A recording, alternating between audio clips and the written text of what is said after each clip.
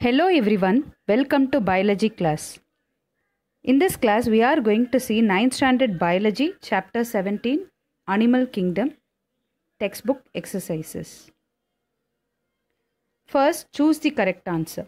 Find the group having only marine member. Marine members means those organisms that live only in case of sea or ocean. They are referred to as marine members. So the answer is Echinodermata. Mesoglea is present in. So mesoglea is a jelly-like substance and it is found in case of Coelenterata. Which of the following pair is not a poikilothermic animal? So poikilothermic animal are nothing but the cold-blooded animal. So they are asking which of the following pair is not a poikilothermic animal. So, in case of uh, uh, classes such as fishes, amphibians, reptiles, aves, and mammals, the first three that is Pisces, Amphibia, Reptilia be- belong to Poikilotherm, and aves and mammals belong to Homeotherm.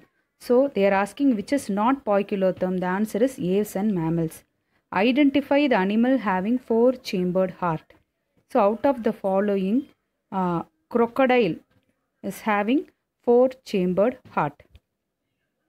So, all the given categories are reptiles. So, the reptiles generally have three chambered heart with the exception of crocodile. Crocodile alone have four chambered heart. The animal without skull is. The other name for skull is cranium. And without skull means it is acrania. Hermaphrodite organisms are hermaphrodites are organisms that have male and female sex organs in the same individual.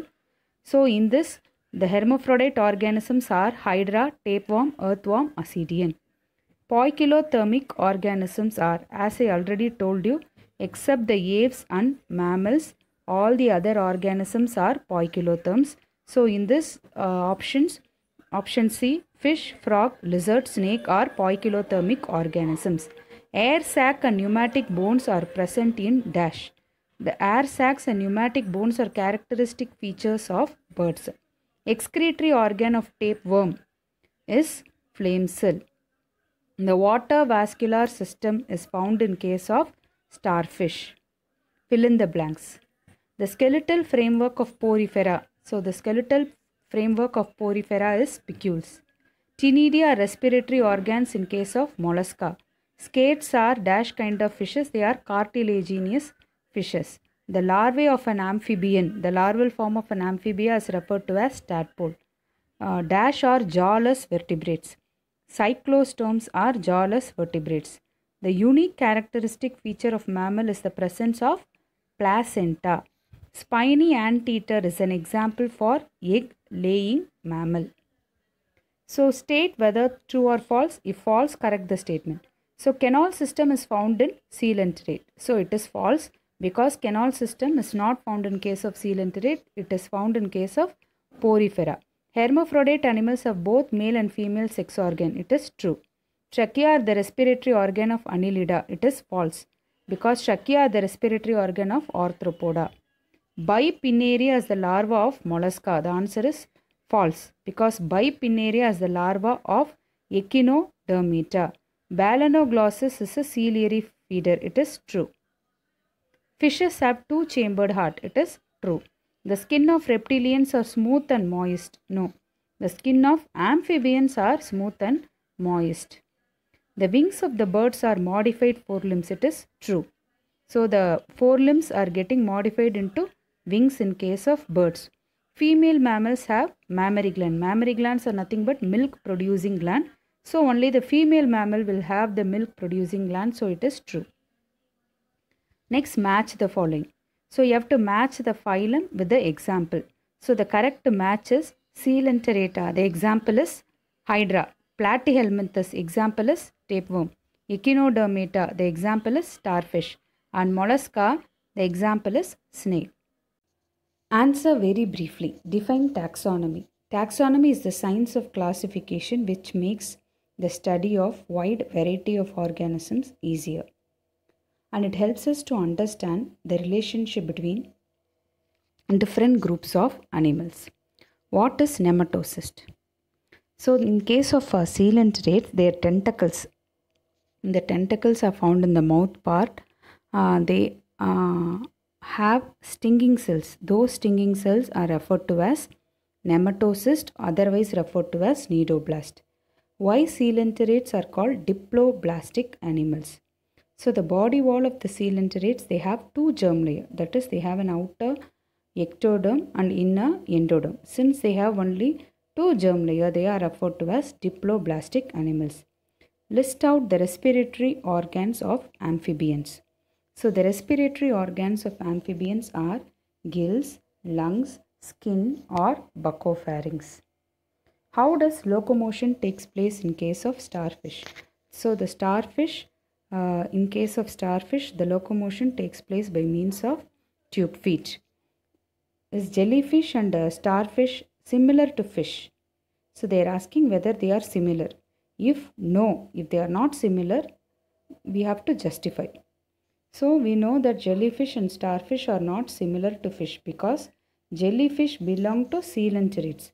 Starfish belong to Echinodermata whereas fishes belongs to the class Pisces. You can also write another difference.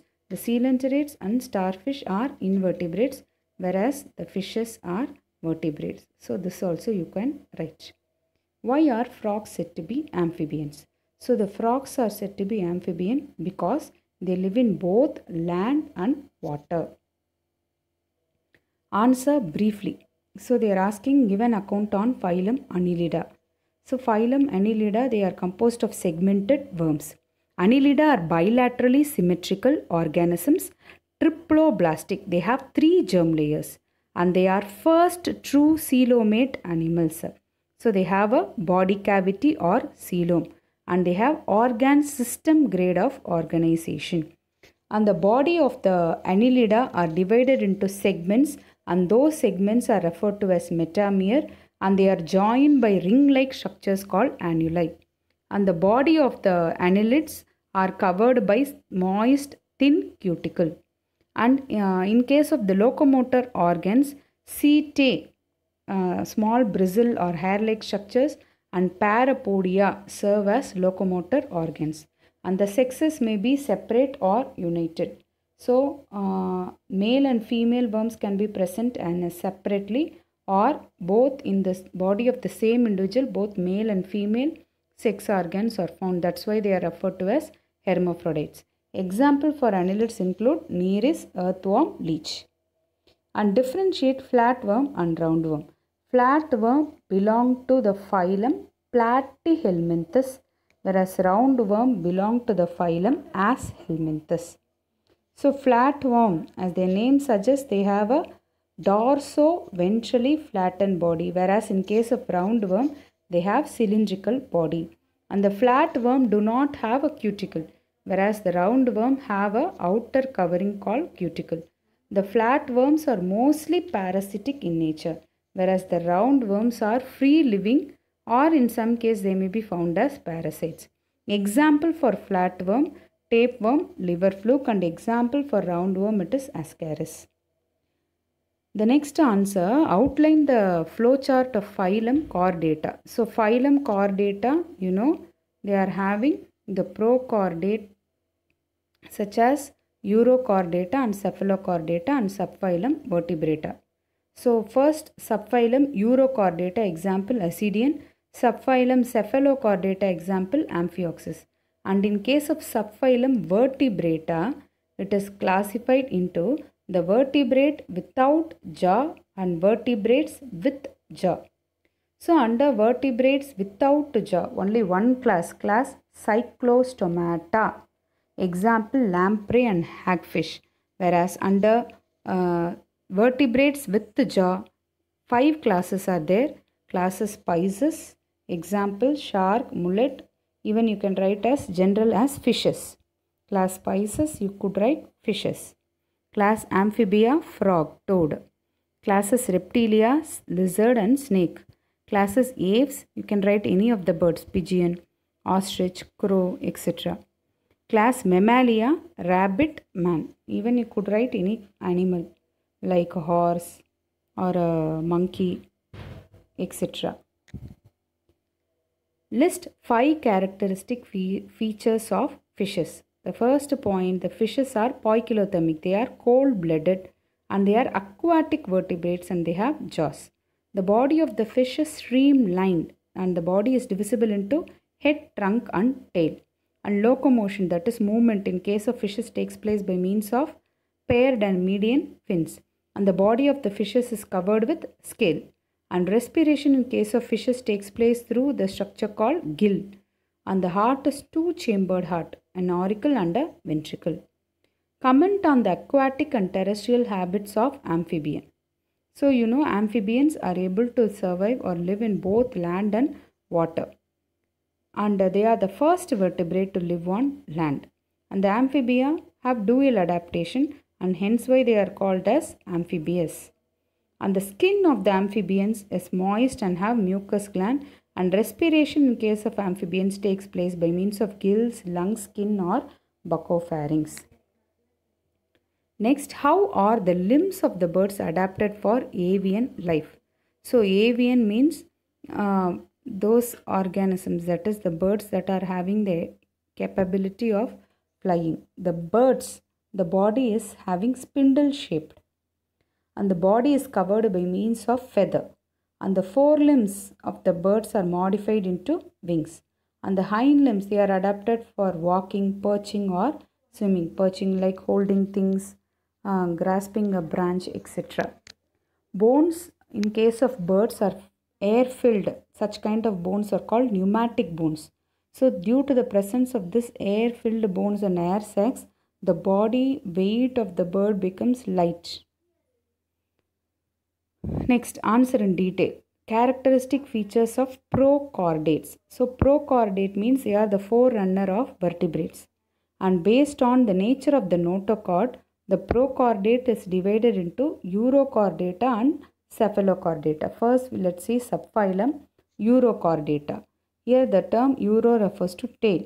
So, since the notochord is present in the tail region, it is referred to as urochordata. The adult form are sessile that is fixed in a place and they mostly degenerate. And the body is covered by a, a covering and it is referred to as tunic or tester. And cephalochordata are nothing but they are small marine-like, mar- sorry, fish-like marine chordate and with unpaired dorsal fins and here the notochord will extend throughout the entire length of the body and uh, example is amphioxus. Given account on phylum Arthropoda. Arthropoda is the largest phylum of animal kingdom. Very very important objective also.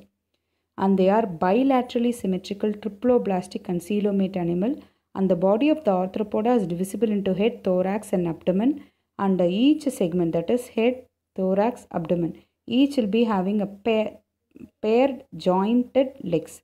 So due to the presence of this jointed legs only they are called as arthropoda. The exoskeleton of arthropoda is made up of chitin and uh, as the animal grows the exoskeleton is shed off and this process of casting off and regrowing of the exoskeleton is referred to as molting. And the body cavity in case of arthropoda is filled with hemolymph. So this acts as its blood.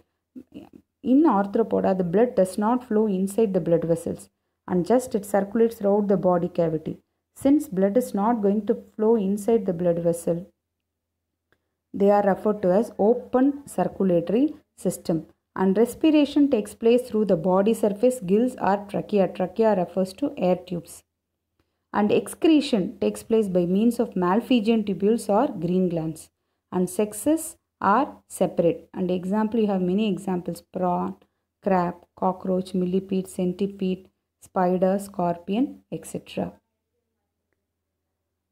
so that's it we have completed the textbook exercises of chapter 17 Animal Kingdom. Meet you in the next class. Thank you.